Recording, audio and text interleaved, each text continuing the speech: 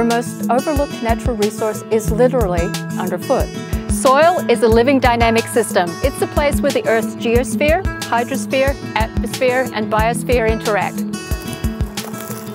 Soil is the mix of minerals, organic material, moisture and air that makes a home for billions of animals, plants and fungal species. Without soil, we would not exist. Healthy soil is the foundation for our food system. It purifies the water that we drink and it's critical in its role in the regulation of greenhouse gases because it's our major store of carbon. There are 70,000 different kinds of soil on Earth. These are the product of the original parent material, the climate of the area, the amount of organic matter that's in the soil, and the environmental conditions under which the soil is actually being produced. We categorize soil by its texture. This is a sandy soil. It has no water holding capacity. Water just goes straight through it. It holds no nutrients. A loamy soil has a lot more organic matter in it. It's perfect for growing plants. And a clay soil is exactly what you think it is. It has a lot of clay in it. It's very sticky. Plant roots have a hard time growing in it. Lighter coloured soils like sandy soils have low fertility and they're very poor for plants to grow in. On the other hand, darker coloured soils have a lot of organic matter in them. This organic matter holds a lot of nutrients for the plants to grow. Normally it would be nitrogen and phosphorus, but it also indicates a better carbon holding capacity in the soil. Healthy soil is teeming with a diversity of organisms from the microscopic to the macroscopic. These organisms move from the organic layer in the top of the soil down to the soil layers below and back up again. In fact, you'll find more organisms in a tablespoon of soil than there are people on planet Earth. This community of organisms performs a vital function. Dead and decaying plant and animal materials fall onto the soil, where decomposers, such as pill bugs and worms, speed up the process. These animals break down complex molecules in their guts and release carbon and nutrients, such as nitrogen and minerals.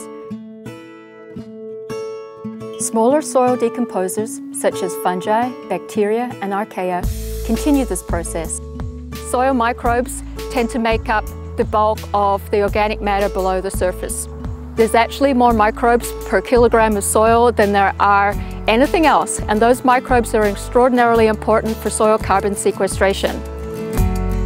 Trees and other plants rely on these nutrients as they play a role in their carbon cycle. Plants remove carbon dioxide from the atmosphere during photosynthesis. Carbon is fixed in the form of carbohydrates, in turn, these carbohydrates arrive at our table in many forms. Sometimes they become other animals first. We read products of the soil and we wear products of the soil. Another irreplaceable function of soil is that it acts as a water filter. Gravity draws water down through the layers of the soil until it meets an impenetrable layer where it gathers as groundwater. As water trickles through, contaminants are trapped in tiny openings in the soil. Bacteria and other microorganisms in the ground filter water by removing carbon dioxide, insoluble substances and pathogens. This is particularly true in wetlands where a complex mixture of soil and soil organisms and microbes help filter water through percolation and metabolism. Soil is an absolutely marvellous system. It works really well all by itself in its own particular timescale unless you abuse it.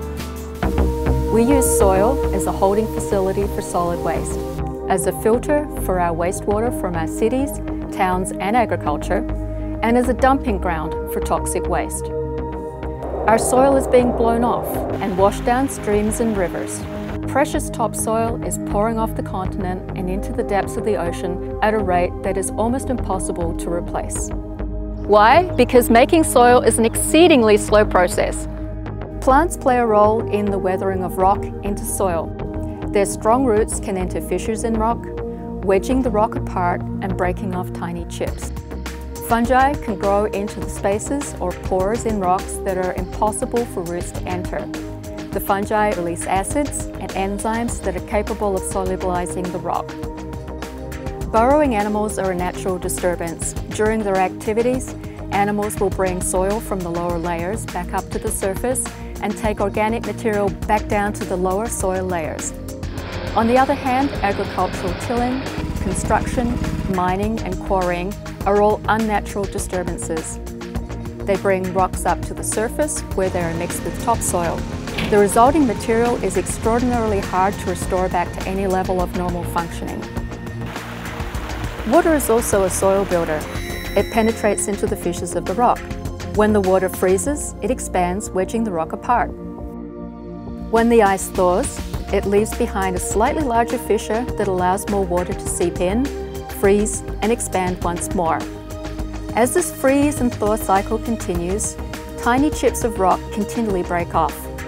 These tiny chips continue to be weathered into smaller and smaller pieces by erosion, chemical reactions. At some point, they become small enough that organic material can actually cling to these particles.